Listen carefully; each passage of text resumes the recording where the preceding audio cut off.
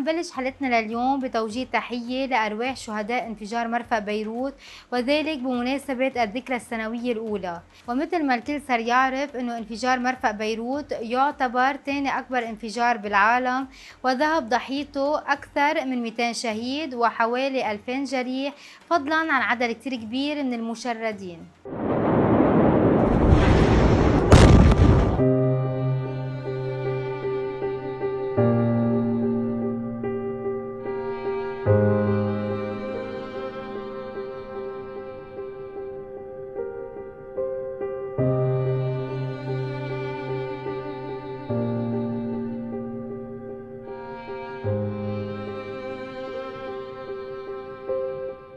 فتعوا معنا حتى نشوف بهذا التقرير يلي حضرناه كيف عبر عدد من النجوم عن حزنهم بهالذكرى الأليمة.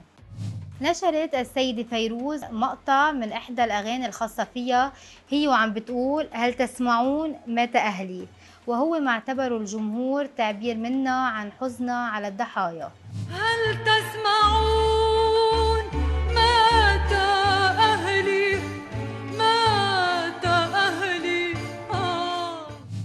النجمة إليسا فقالت ما تخيلت بحياتي إنه رح يمرق علينا كارثة مثل أربع آب. انفجار اغتصب العاصمة بيروت وأهلها وكان دماره ووقعه وتأثيره بدقائق معدودة أكثر من الحرب الأهلية يلي عشناها على مدى 15 سنة.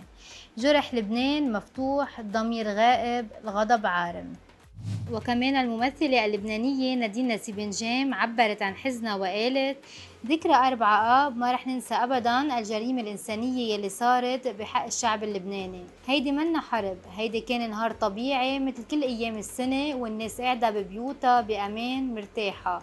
فجأة بلحظة وبغفلة عين فجرونا. ليش؟ كلنا بنعرف الجواب. الله أكبر منهم وكمان نوال الزغبي حرصت إنه توجه رسالة وتعبر من خلالها عن ألمها إذ قالت سلطة الذل والعهد المتسلط الزعماء يلي بلا ضمير.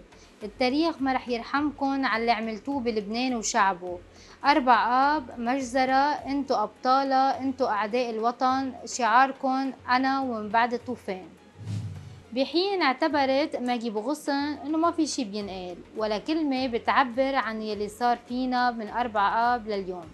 ومن بعد ماجي بو غصن حبت سيرينا عبد النور إنه يكون لها لفتة إذ قالت بأربع آب في ناس راحوا من هالدنيا غدر. ونحن بعدنا ناطرين الحقيقة هن عرفوا من المجرم يلي قتلهم وعم بيشوفوا أهاليهم كيف عم يحاربوا كرمالهم وكيف هالوطن عم بيبكي عليهم.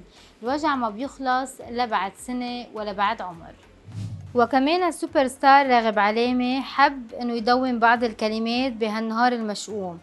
فقال أيها المجرمون يوم الحساب آت ورح نختم تقريرنا بالكلام يلي وجهه ملك الرومانسية إذا اعتبر أنه بهالذكرى الأليمة ما في شي بينقال إلا أنه نطالب بالعدالة نترحم على الضحايا ونطلب الشفاء لكل جريح ولكل قلب انكسر. ومن بعد ما سمعنا بهذا التقرير عدد من الرسائل يلي حب يوجهها عدد من النجوم للتعبير عن حزنهم بهالنهار المشؤوم. خلينا نشوف الديفا هيفا وهبي يلي نشرت صورة لإلها وظهرت وهي عم ترتدي الفستان الأبيض وعم تحط الزهر على راسها وحتى كانت عم تحمل باقة من الورود وكانت عم تنظر للمرفأ والخراب يلي حصل. أما بالنسبة لتعليقها فكان كتير مؤثر فشوفوا معنا كيف علقت. كانت توقف على الشرفة وشوف بيروت الحلوة وشوف الأضوية والناس عم تتمشى مبسوطة. هلأ صار المنظر جرح صرت شم ريحة وجع وصرخت كل شخص فقد غالي على قلبه بالانفجار.